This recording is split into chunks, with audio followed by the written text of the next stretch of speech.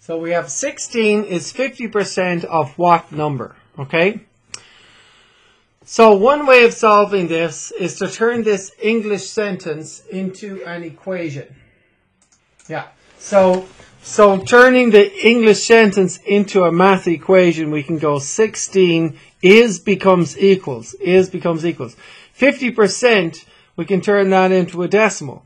That's 50 per 100. Percent means per 100. Or as a decimal, that's 0.50 or 0.5 Okay? So, so we can write 50% as a decimal, 0.5. Of in math means multiply. Of means multiply. And what number? We can put any letter there. X, A, B, C, N. Let's do N for fun, right? So 16 equals 0.5 times some number, right? 0.5 times some number, right? So what we've got to do is solve this equation. We've turned the English sentence into an equation. Now we've got to solve it. We've got 0.5 times n. What's how do you undo multiplying by 0.5? Good. Divide both sides by 0.5. Divide both sides by 0.5. Good deal. So now you've got 16 over 0.5 equals, and these 0.5s actually cross cancel, you see and they give 1. So that's 1 times n over 1. That's just n, right? Now you've got to figure out 16 over 0.5. I'm going to do it over here and we'll take our time. 16 over 0.5. We can't divide by decimals in math. We need to turn the denominator into a whole number. So what would I multiply 0.5 by in order to turn it into a whole number?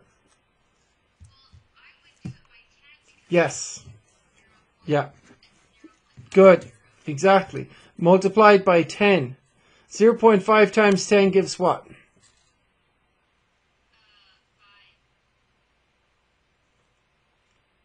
Yeah, 5. Good. Yeah, 5. Good. And um, and you got to multiply top by 10 as well, right? All right. So, um, um, so top by 10, we get 160. So it's 5, it's 160 over 5. Right? 5 into 5 goes once. 5 into 16? Three times, right? Remainder 1. Right. 5 into 10 goes twice. 32. So 16 over 0.5 is 32, right? Right.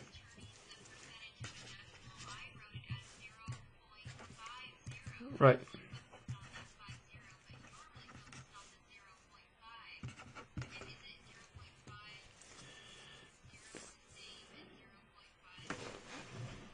Yeah.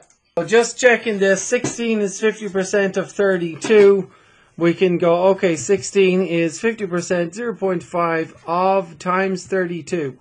And so you can go 32 times 0.5. If I was getting 50% of 32, I'd go 0.5 times 32. 5 twos is 10, carry 1, 5 threes 15, and 1 is 16. And there's one decimal place in the in the multiplication, so there must be 1 in the answer. And so that would be 16.0 or 16 right? So 16 equals 16, that works out, right? Good. Good.